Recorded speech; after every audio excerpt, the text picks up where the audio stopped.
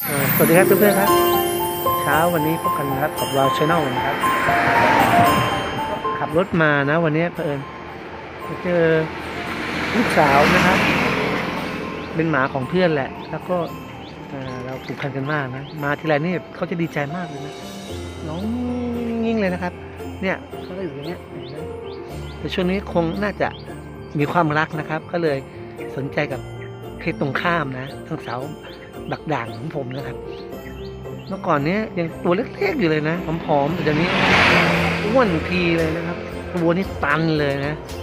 นะหรือเขาแอบอยู่หลังรถนะครับดังไหนลูกนี่ดิเห็นเปล่าเขาสนใจอะไรบางอย่างผมว่านะเขาสังเกตอยู่เหมือนกันนั่งอยู่สักพักแล้วแหละ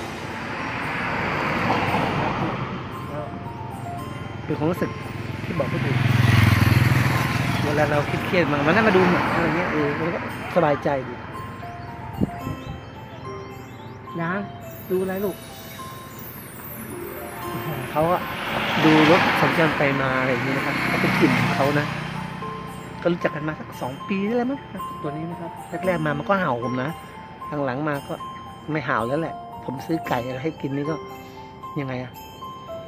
ติดเลยนะครับ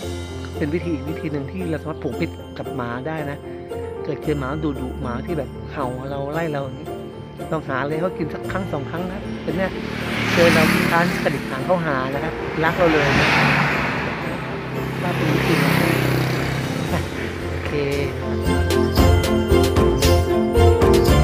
อะไรวะไหนดูดูอะไร ดูอะไรหรืออะไรถึงเปล่าโดมโ